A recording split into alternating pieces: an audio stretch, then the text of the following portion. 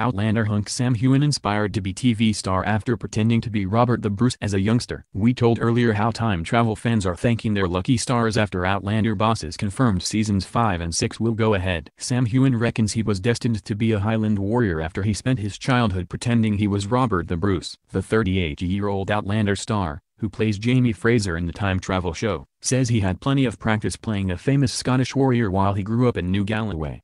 He said, I was very lucky that I was born and raised on the grounds of a derelict castle. I had a great childhood and got to be outdoors all the time using my imagination to play a lot and that's probably where my love of acting came from. Pretending I was a coolie Robert the Bruce was one of my favorites and the whole area was kind of my play park. There were really no boundaries and I think the discovery and excitement as a kid has definitely transferred into why I like coming to places to places like this.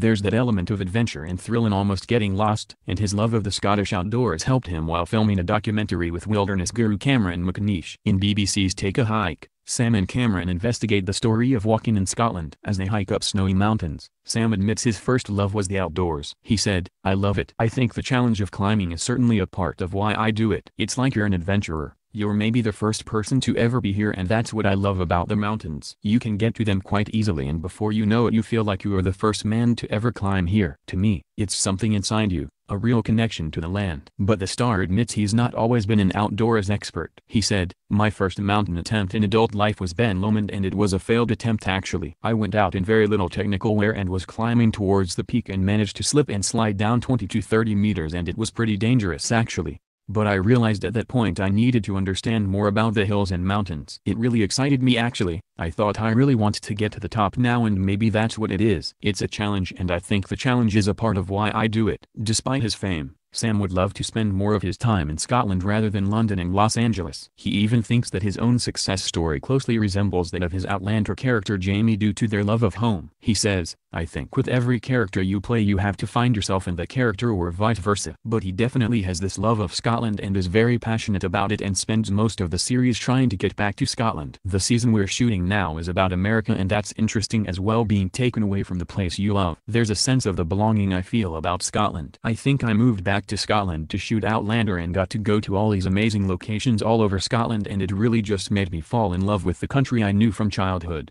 There's a great sense of freedom and I realized I could just put on a pair of boots and get out there. As well as acting, Sam is known for his charity work. Through his work on Outlander and his passion for the outdoors, his aim is to inspire people and encourage them to live a healthier life. He founded the My Peak Challenge movement which sees thousands of members follow a fitness challenge program and raise money for blood cancer research charity Bloodwise. He says, it was a way of sharing my love for the hills and getting outdoors. I know not everyone has access to magnificent mountain ranges like this but it's about the challenging aspect, giving a different goal and helping yourself while helping other people.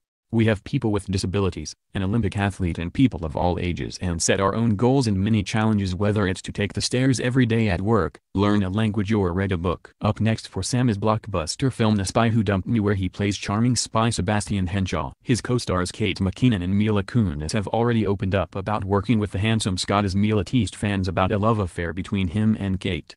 Hollywood actress Mila also revealed Sam had been putting the rest of the cast to shame with his daily fitness regime. She said, he runs a lot. When we lived in Budapest which was where we shot the film, we would be driving along this bridge and 9 times out of 10 I could see Sam shirtless and running down the bridge. We were so angry he was in such good shape. All the time he was running down this bridge shirtless.